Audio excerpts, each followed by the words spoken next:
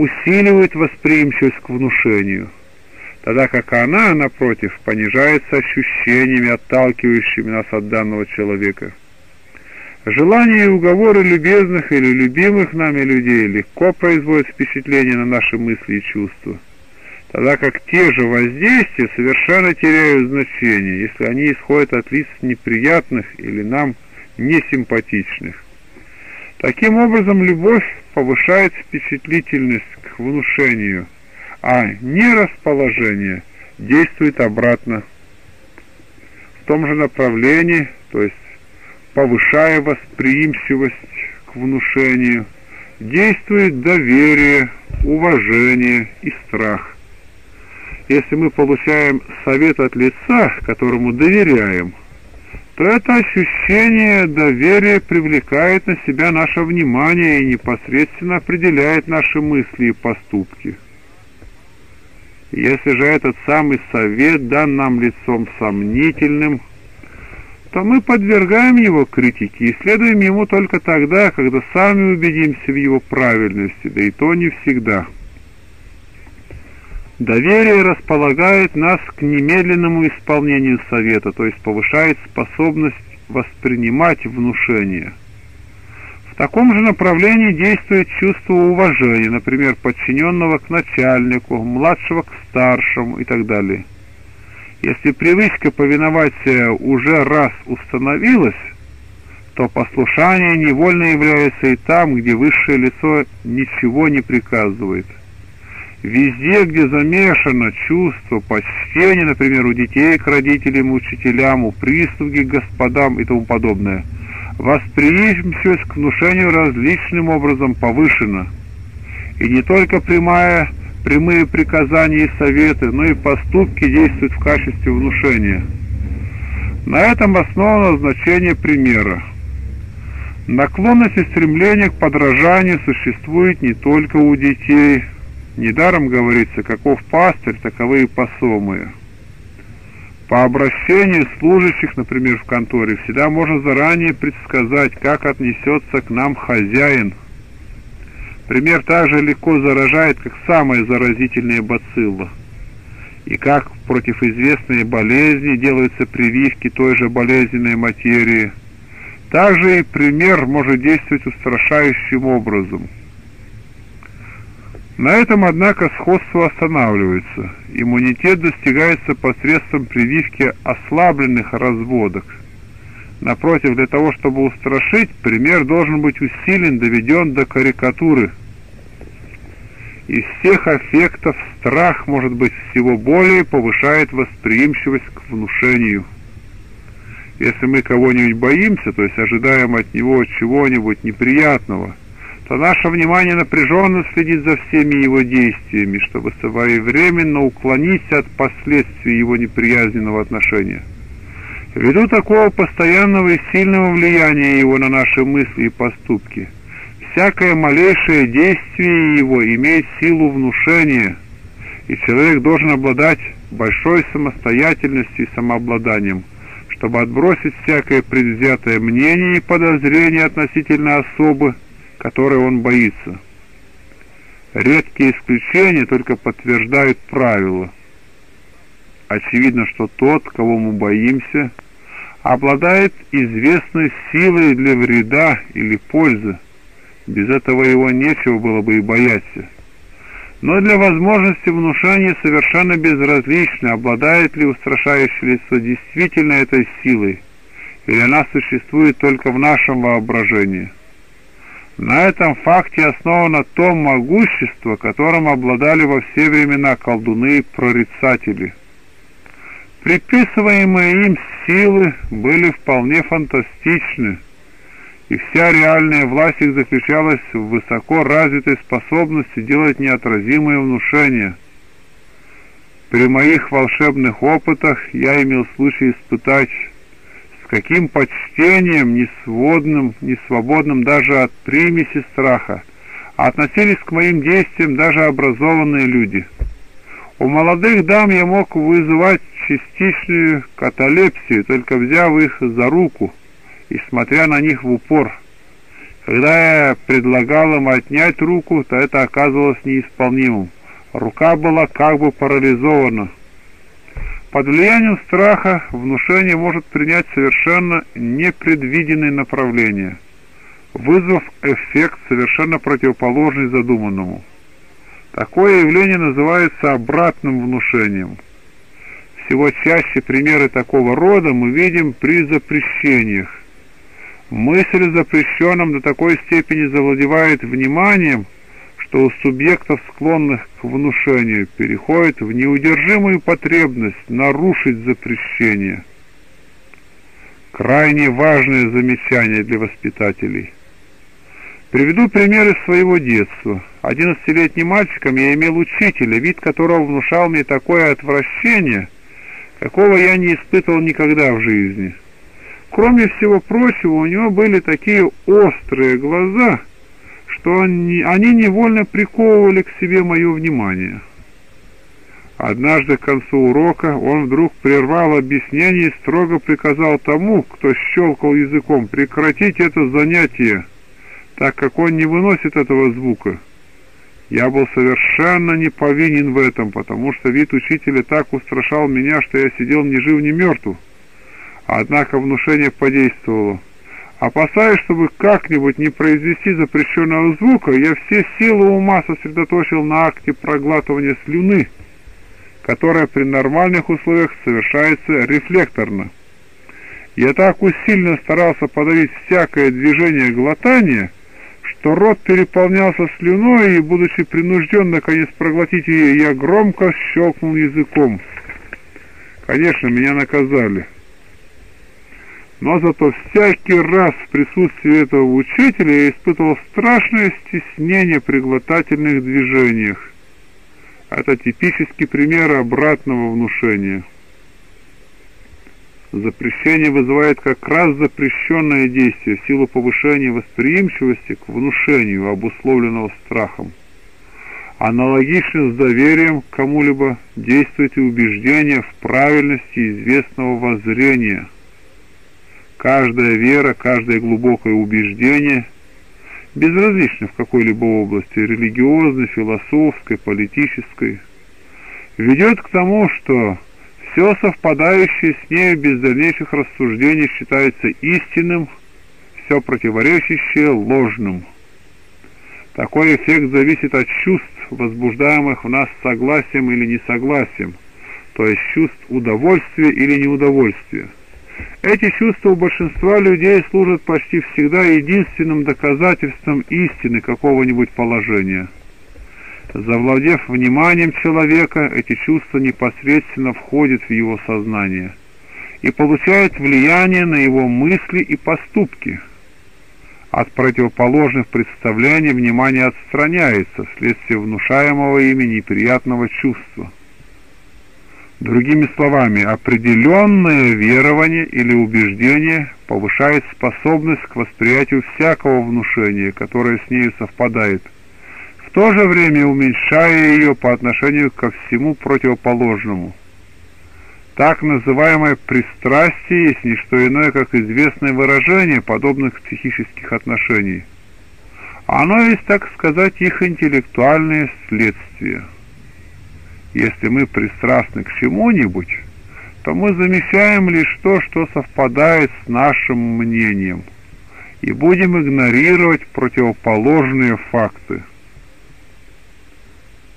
Усилие, усиление восприимчивости к внушению, обусловленное известным верованием, влечет за собой еще другие интересные явления – Опыт учит нас, что внушения, воспринятые при таком повышенном предрасположении, могут влиять не только на мысли и поступки данного лица, но и на все его физические, на все и духовные функции. Наблюдательная деятельность органов изменяет свой характер воспоминания, перестраивается, мысли получают новые направления – совершаются поступки, совершенно не согласные с нормальным характером субъекта. Физиологические функции изменяются в известных, конечно, границах. Даже болезни могут быть вызваны или извлечены и так далее. Излечены. Пример такого рода мы уже имели при описании обратного внушения. Все перечисленные явления обыкновенно вызываются воздействием других людей и могут быть вызваны извне, со стороны. Но они могут быть также вызваны внутренней психической работой данного лица и носят тогда название самовнушений. Последнее также возможны только на почве повышенной восприимчивости к внушению, являющейся следствием известной веры или убеждения. Как пример опишем одно из симпатических средств, употребляемых против бородавок. Бородавку натирают красной полевой улиткой, и последнюю накалывают на шип растения. Когда улитка высохнет и свалится, отваливается и бородавка. Средство это очень употребительно в Цюрихском кантоне, в Ирландии и кое-где в Германии. Сок улитки не имеет никаких целебных свойств. Еще меньше, конечно, может иметь значение смерть несчастного животного. Но если это средство применяется с твердой верой в него, то под влиянием самовнушения бородавка на самом деле исчезает. Следовательно, здесь, как и в очень многих случаях, деятельная сила есть вера – если одновременно будет действовать несколько факторов, увеличивающих восприимчивость к внушению, то она может достигнуть громадных размеров. Это, например, бывает, когда одно лицо, пользующееся полным доверием другого, побуждает его к известным действиям, согласным с его собственным верованием. Вера и доверие настолько повышают восприимчивость к внушению, что, действуя вместе – могут повести к необыкновенным результатам. Все мы знаем, какие в самом деле чудесные действия, как хорошие, так и худые, совершаются опытными наставниками, учителями и так далее, умеющими заслужить доверие своих воспитанников. Столь приводит много таких примеров. Вот один из самых поразительных. В Англии некоторый чувственный фанатик Генри Джеймс Прайс до того отуманил своих последовательниц, что имел возможность в основанной им храме любви Агапемоне при полном собрании верующих лишить невинности красивую девушку мисс П. Причем он заранее объявил, что во имя Бога сделает женой прекрасную деву, и совершит это не в страхе и стыде, не в скрытом месте при запертых дверях, а среди дня при полном собрании верующих обеих полов.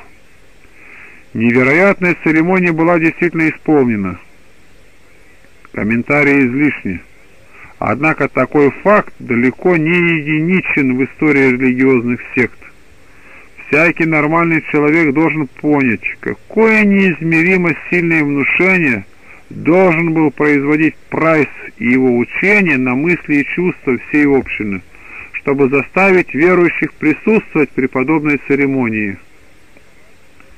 Этот потрясающий пример не только доказывает всю силу внушения, но указывает нам на тот новый факт, что очень многие люди одновременно могут получить внушение в одинаковом направлении – Такие массовые внушения в истории человеческого рода играли, конечно, немалую роль.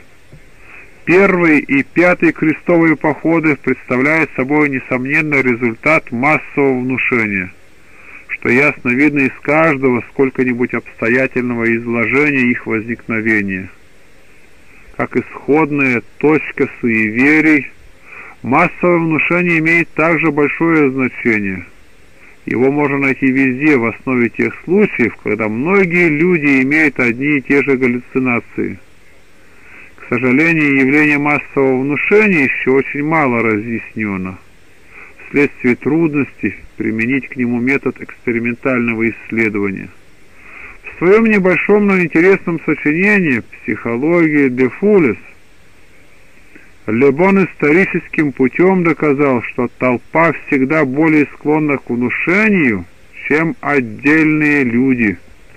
История суеверий и волшебств. Пояснение.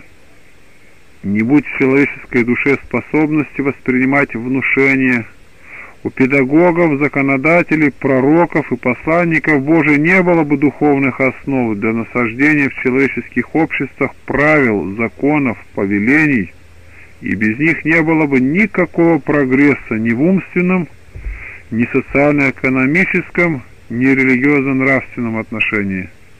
Таким образом, эта способность весьма ценна – Злоупотребление ею ничего не говорит против нее, потому что злоупотреблять всем можно. Глава 20. Способность человеческого духа к созиданию. Объяснение терминов сознание и самосознание.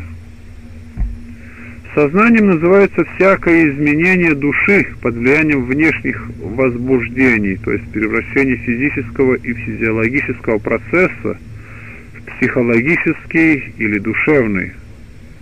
Сознание в этом смысле значит то же, что ощущение, восприятие, и прямо заменяется этими терминами.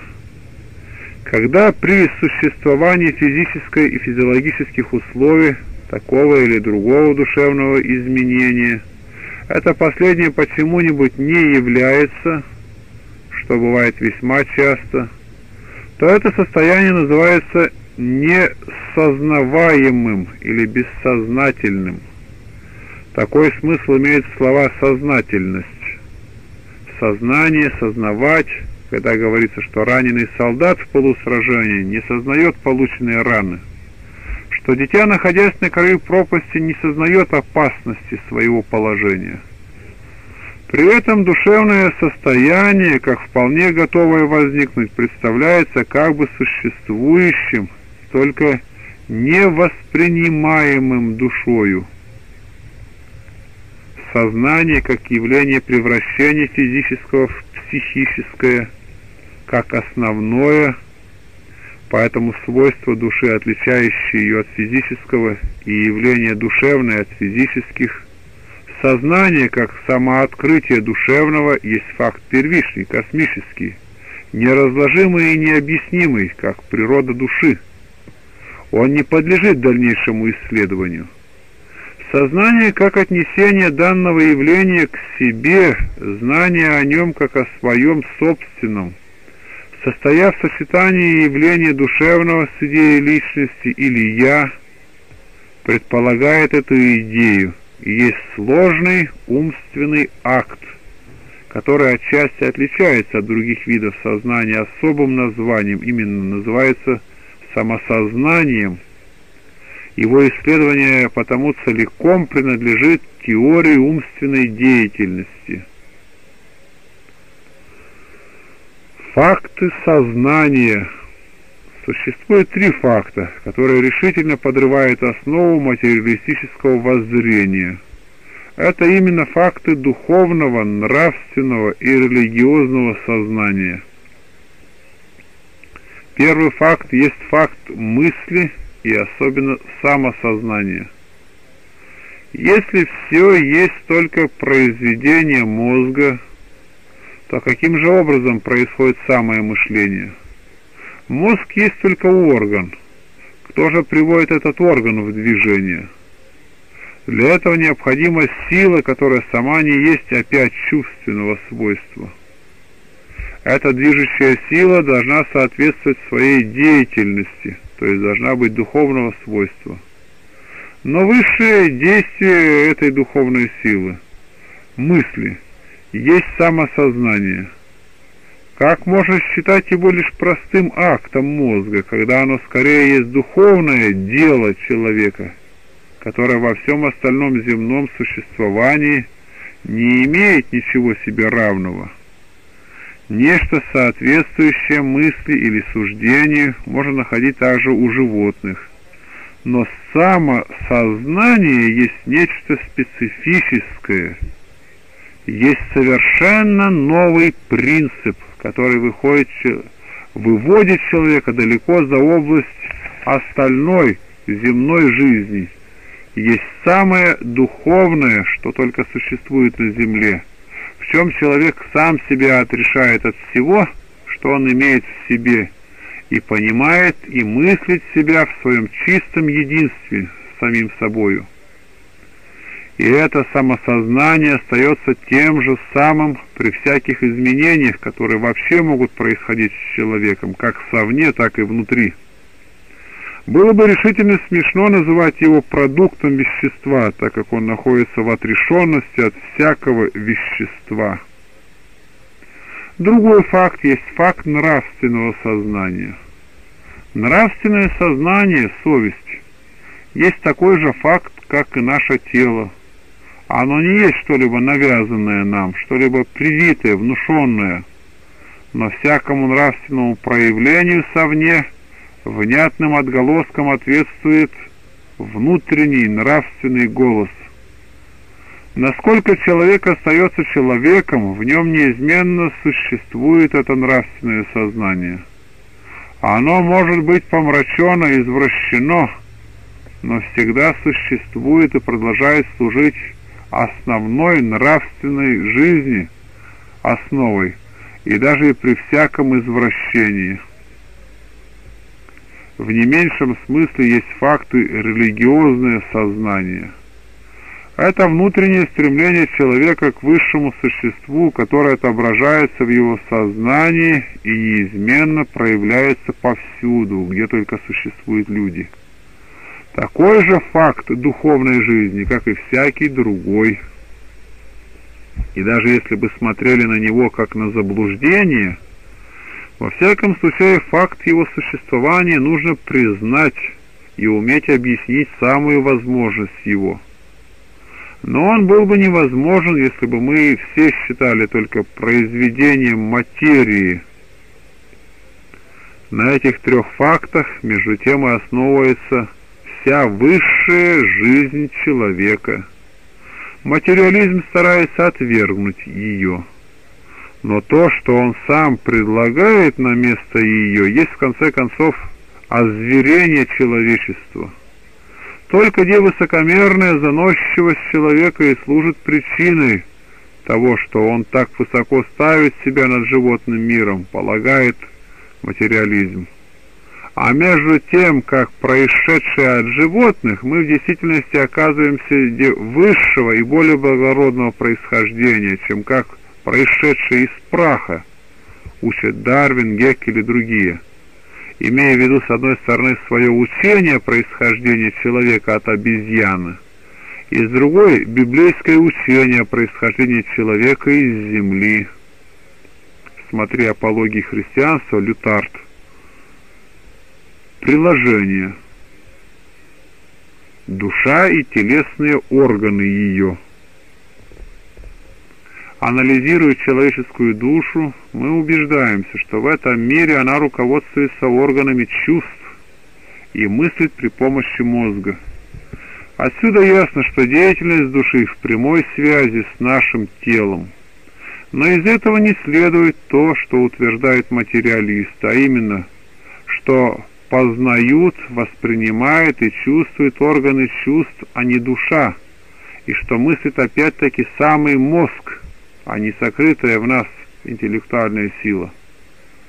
Несомненно, что душа, тесно связанная с органическим телом, может чувствовать и мыслить только через посредство его. Между органами чувств и душой существует соотношение, которое можно сравнить с действием очков на глаза. Очками, как известно, обуславливается не самое зрение, а то или другое свойство его – так, например, увеличение, приближение или отдаление предметов, ослабление света и прочее. Точно так же и органами чувств обуславливается не само познавание или восприятие, а только тот или другой род ощущений. Так что органы чувств и мозг являются для нашей души как бы очками, которые мы сбрасываем в момент смерти. Вот поскольку правы материалисты. Наше сознание распространяется только на мозговые представления. Стало быть, наше сознательное мышление во всяком случае не исходит непосредственно от души. И, конечно, изменится после смерти, подобно тому, как изменяется свойство зрения в самую минуту, когда снимают с глаз очки. В силу постоянного употребления очков человек забывает и в конце концов даже перестает сознавать природные свойства своего зрения. Таково же и отношение его к своей душе, пока мы живем на этой земле и обладаем аппаратом для познавания и восприятия, я разумею мозг и органы чувств, или, что тоже, духовные очки. Наше субъективное «я», обуславливаемое непосредственно душою, ускользает от нашего сознания. Вот почему духовные отправления, которые не имеют ничего общего с нашей телесной оболочкой, то есть, так можно выразиться, самая сущность нашей души, пока еще совершенно неизвестны нам. Это-то сокрытая, неизведанная сила человеческой души и не может подлежать смерти. Что же касается до чувствилища, тесно связанного с нашим телом, то оно вполне подлежит притязаниям материализма, и мы смело можем предоставить ему эту область. Смотри, крест над Глетчером Карла Дюпреля. Человеческий дух способен к самостоятельной, чисто духовной деятельности при посредстве лишь нервного аппарата. Все, что доказала новейшая физиология, так это тесную зависимость психической жизни от физиологических процессов, более тесную связь между душевными явлениями и строением и функциями разных частей нервного механизма – чем это предполагалось прежде. Но материальный характер психических явлений остался недоказанным, и нет никакой надежды, чтобы он когда-нибудь был доказан. Мы будем излагать свои мысли в связи с разбором мнений профессора физиологии Ковалевского по поводу его речи, как смотрят физиологи на жизнь вообще и психологическую в особенности – Ковалевский, как и большая часть физиологов одного с нами направления, убежден, что для доказательства материальности какого-нибудь психического процесса достаточно указать, что происходит в тех или других частях нервного механизма. По его взгляду, устройство нервной машины, связь ее отдельных частей – и те молекулярные движения, которые распространяются между ними, составляют самое существо психической жизни. Таким образом, для него нет существенного различия между нервным и психическим процессом. И поэтому этот последний материален – но его убеждение, которое прямо высказывается и сквозит во всех рассуждениях автора, не имеет за себя оснований. Оно принято им как особого рода кредо, помимо всяких доказательств. Все, что Эно Ковалевский говорит об органах чувств, о мозговых клетках и их вибрациях, о рефлексах простых и сложных, касается одной только стороны дела – именно физиологических условий психической жизни. Но тот факт, что вместе или параллельно с этими нервными возбуждениями, их распространением по нервным путям идет ряд психических состояний, состояний особого рода, не похожих на молекулярное движение, остается неприкосновенным – Двойственность физиологических и психических процессов или дуализм духа и вещества, утверждаемый психологами, твердо стоит против всех усилий автора стушевать один из членов этой кон этого контраста. Все его выражения, вроде нервная память, есть общее свойство материи и тому подобное – просто лишь прикрывает психологическую сторону нервных процессов, нисколько не доказывая ее материальности. Чтобы наше обвинение не показалось голословным, мы скажем несколько слов о каждом из тех психических явлений, материальность которых автор считает доказанной. Он говорит, например, что утомление есть чисто физиологический или физико-химический процесс. И доказывает это экспериментом над вырезанной мышцей. Но на самом деле автор предлагает лишь объяснение, и объяснение, конечно, весьма ценное, тех условий, которыми вызывается в нас чувство утомления. Правда, чувство усталости обуславливается химическим разложением мышечного вещества, но само есть психический факт в существе дела, нисколько не похожий на молекулярные изменения мышечной ткани – Мышца, отделенная от организма, представляет все химические явления, описанные автором, но не имеет, и, насколько мы знаем, не может иметь чувство утомления. Тоже следует сказать и об ощущении. Все, что автор говорит о внешних агентах, вызывающих нервный процесс в органах чувств, а также о приспособлении этих последних к восприятию тех или других впечатлений – касается лишь физиологических условий, которые нужны для того, чтобы произошло ощущение. Но чтобы ощущение было то же самое, что и все эти нервные раздражения и движения, это не доказано. Ощущение красного света есть факт особого рода, не похожий на волнообразные движения в сетчатке, распространяющиеся по зрительному нерву, и передаваемые в соответствующую часть мозга. Ощущение температуры гораздо меньше имеет сходство с движениями в нервах и нервных центрах, чем эти движения с волнообразными движениями, распространяемыми нагретым телом. Ощущение не есть движение, есть перемещение частиц материи с одного места на другое, но есть особого рода факт, который мы наблюдаем в себе непосредственно. Поэтому нельзя сказать, чтобы ощущение было материально, так как оно не имеет тех свойств, которые мы приписываем материи. Ковалевский без сомнения знает лучше, чем автор этой заметки, сколько психологических фактов входит в образование пространственных представлений. Недостаточно, чтобы образ предмета отразился на сетчатке. Недовольно, чтобы молекулярное движение, соответствующее каждой точке светового изображения, распространились на те ганглии, в которых теряется оптический нерв. Каждое из возбуждений, вызванных в пестиках ретины, служит лишь знаком, который должен быть еще истолкован в его отношении к другим подобным же знакам для того, чтобы у нас возникло представление протяженного предмета. Ковалевскому без сомнения известны факты так называемых бессознательных заключений, завитых в восприятии предметов внешнего мира.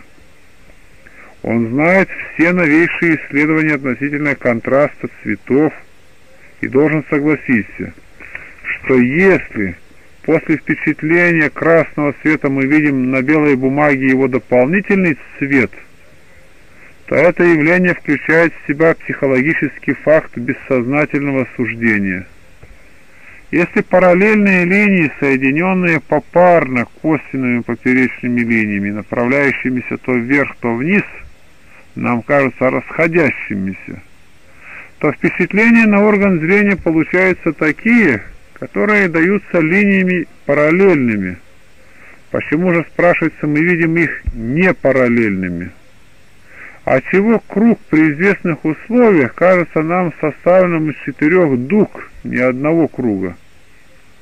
А чего одну и ту же линию мы считаем то короче, то длиннее?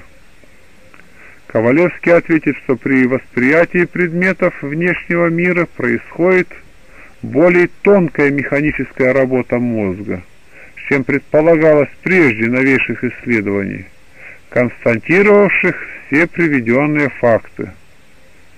Но не подлежит сомнению, что одной этой механической работы без психических фактов сравнения, а одних впечатлений с другими, их развлечение – запоминание и тому подобное невозможно объяснить даже такового, по-видимому, простого факта, как восприятие предмета в его трех измерениях. Почему образ, рисующийся на сетчатке лишь в двух измерениях, истолковывается нами как предмет, имеющий протяжение не только в длину и ширину, но еще и в глубину. Ковалевский знает, что для этого восприятия третьего измерения нужны опыты, предполагающие целый ряд сравнений и заключений – но все сравнения, все усмотрения сходства и различия, все заключения от действительных впечатлений к впечатлениям возможным, все это психологические факты.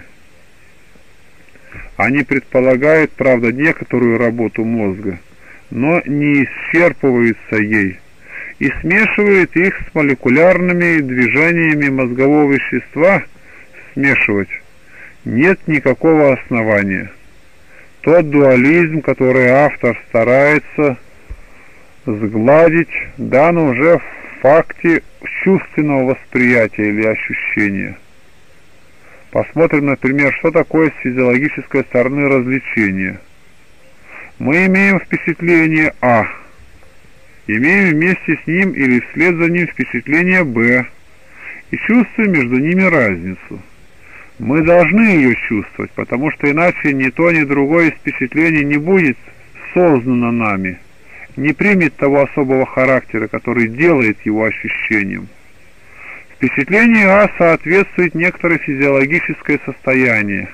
Впечатлению Б соответствует другое, отличающееся от первого, состояние нервов и мозга. Каким образом усматривается различие между этими нервными состояниями? Одно состоит в движениях известного рода, другое состоит из движений нескольких различных. Но каким образом одно движение знает, что оно больше или меньше другого? Ковалевский скажет, что он не берется объяснить сознание, а мы ему отвечаем, что в таком случае – одними материальными причинами он не может объяснить и ощущение, потому что ощущение предполагает непостижимое для него чувство различия.